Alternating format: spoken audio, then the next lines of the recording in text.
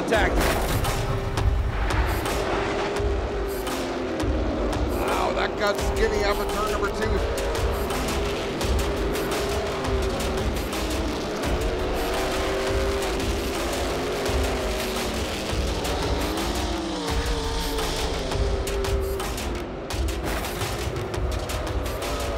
Trouble in turn number two. Melissa Miller goes around full 360.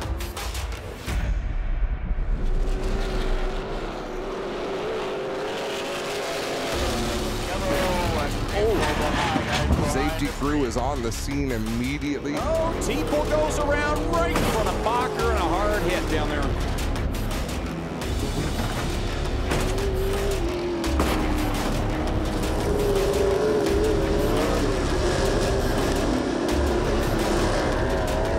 Sparks flying out the back of that 10 machine, but he's running pretty quick out there.